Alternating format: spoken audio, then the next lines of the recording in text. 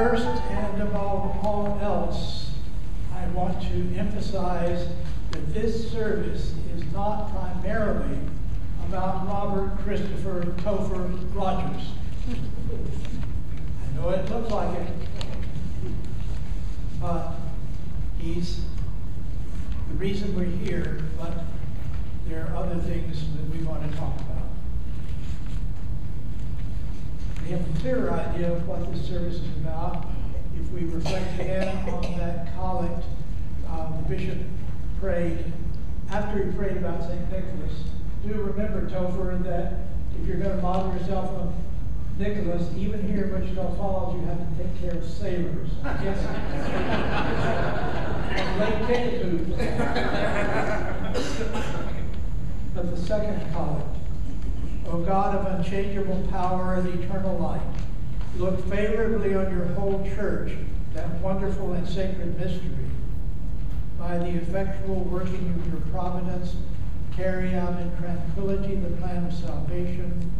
Let the whole world see and know that things which were cast down are being raised up, and things which had grown old are being made new, and that all things are being brought to their perfection through Jesus Christ. Because you see, the ordination of a deacon, priest, or bishop is never primarily about the woman or man being ordained. It is primarily about the church as the body of Christ. Jesus Christ, who is the true servant or deacon. Christ, who is the true priest, presbyter. Christ, who is the true shepherd bishop. As the letter to the Ephesians tells us, we, as the body of Christ, have a variety of ministries in order to build up the body. All the baptized people of God. We are the embodiment of Jesus Christ, the servant, priest, and shepherd. You know, in our baptisms, we were told that the church is all the baptized people of God in New Testament Greek called the laos, which means the people. That, and that laos, or laity, includes the clergy. In baptism, we are all committed to the work of ministry. We set apart ordained people to be sacramental signs of that baptismal ministry. The apostles' teaching and fellowship, the breaking of the bread and the prayers, proclaiming by word and example the good news of God in Christ seeking and serving all persons, striving for justice and peace among all people. We, in baptism, have been welcomed into the fellowship of all those who confess the faith of Christ crucified, proclaim his resurrection, share in his eternal priesthood. Bishops, priests, and deacons are secondary to that. They are to focus certain of the functions of the whole body and signs and sacraments of the ministry we all have been given by God in baptism.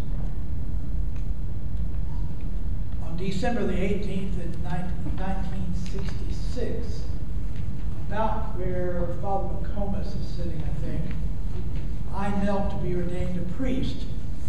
Same slab, different building.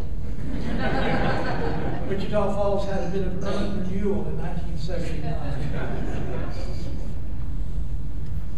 and I was pretty certain that night that the whole event was about me. I was empowered to preach the gospel, to celebrate Eucharist and baptism, to give forgiveness for sins, and to give blessings. After all, that's what we pay priests to do, isn't it? Gradually living into that ordination and reflecting on the scripture's teaching about the church as the body of Christ and ministering in his body, at least as often being ministered to by those in my care as ministering to them. I've come to see that ordination is not about me, but about the whole church. Reverend Louis Weil one of our church's most notable teachers and scholars, said in a sermon to the people being ordained, if you were not already a priest before tonight, there's nothing the bishop and we can do to you to make you into one. What is happening tonight is that the apostolic, priestly, servant body of Christ together is revealing who and what God has been making Christopher Rodgers into from his birth and baptism up until now. There are many people here tonight who've been spotting the priest in him for years. And, and so, in the power of the Holy Spirit, the bishop, presbyters, and deacons, and all the baptized people now reveal who God has made him to be. Look back at that opening collect again. It prays for the church that wonderful and sacred mystery. Topher is tonight being set apart to be a sacramental sign of that mystery, the mystical body of Christ comprised of all of us together. That collect also says that the work of the church is to show the world that things that were cast down are being raised up, and things which have grown old are being made new, to reveal to a confused and troubled world and nation and church that despite what it may seem like, through God's Spirit, the community of God's people is being brought to perfection through the power of the Holy Spirit in Christ's body. That is, I think, especially here in the Episcopal Church in Wichita Falls. Gathered tonight with fellow members of Christ's body from other places larger church.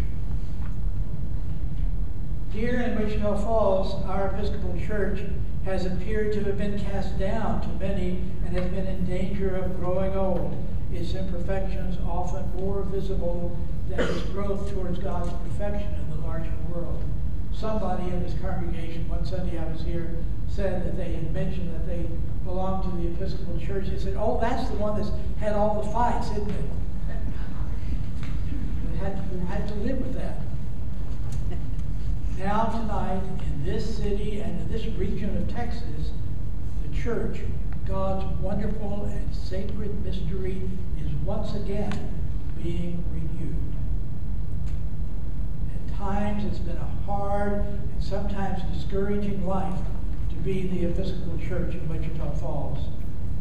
Seen by many as being plagued by schism, scandal, and controversy and the lack of a full-time resident pastor and leader for many of the past few years has weighed on ECWF's ability to be fully what God calls it to be. Yet I assure you, if you're just visiting tonight, they've been busy. I've been here several Sundays. I can't believe this small group of people do as much, as many times, and as frequently as they're doing in this community. Topher, of course, is not being ordained and placed here to fix all of that by himself. I'm telling you all that too. you ECWF folks are not off the hook. He's being ordained to be a sign, teacher, and enabler of the ministry of all the members here. He's to celebrate Eucharist, but not alone, but to lead all of you in celebrating Eucharist. He's to baptize.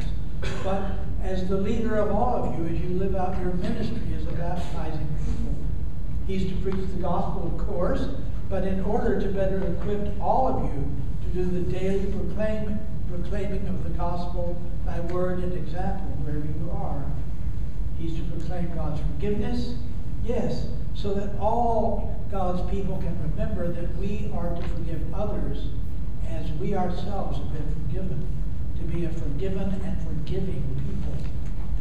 He's to pronounce God's blessing too, so that we may see that we all have been given to the world to be a blessing to people, in particular to those that lack the blessings of food, shelter, medical care, and hospitality. Now, my experience in this part of Texas goes back a long way grew up just a little over 60 miles south of here in Throckmorton. Wichita Falls was, as it still is to many, the city. The place where not only its residents, but also the people from tiny towns, rural farms and ranches, and oil fields looked for medical care, higher education, and the arts, and culture. Shut up, Dallas and Fort Worth. There's culture here too, believe it or not. I went to my first symphony, my first opera, and my first Broadway musical right here in Wichita Falls. And it's not a bad place to live. One of the greatest gifts, though, that the Episcopal Church, going back as far as Bishop Garrett in the 19th century, has historically been able to offer Wichita Falls region of Texas and Oklahoma, has been as a welcoming church for people who have been told by the dominant churches that they're not worthy or acceptable or welcomed. There were and still are many people in this area who live here and who have come from smaller communities as well, who've been told that their childhood love of Jesus is not welcomed by the churches they grew up in, or that their desire to worship God in beauty and dignity was devalued. That they were rejected, and look, people who were looking for a place that did not teach that Jesus died to take away our minds, but to take away our sins. Over the years, the Episcopal Church of Wichita Falls has welcomed those searchers as full members of Christ. Sadly, a significant portion of our church in this city has renounced some or all of that gift it had been giving to people. But there still is this remnant who remember that special vocation. For the people of the city and those drawn here by its university, its medical centers, the military, and jobs, or even just for the relative freedom of living in a larger community, all those people need what the Episcopal Church has to offer. The gospel of Jesus Christ and a community of welcome, acceptance, inclusion, and freedom from condemnation. The joy of worshiping and the beauty of holiness in our liturgy and music. Jesus the shepherd said that he is sent not only to the members, but to those not yet in his flock. And ECWF and his new priest are to be the way Christ can seek and bring into his flock all those. Your new ordained shepherd joins you as a people made shepherds by baptism and to be part of Jesus' shepherding, to bring in those not yet part of the flock, and to bring back those who have strayed from his flock.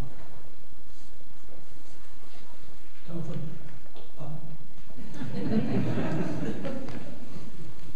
Topher, tonight is a new beginning, and not merely for you. It's a new beginning for the people of the Wichita Falls Episcopal Church. You're called to lead them, to seek and serve all people, loving our neighbors as ourselves, to proclaim the good news to all, to strive for justice and peace among all people, and to respect the dignity of every human being. Not called to be set apart from them, to be but to be part of them.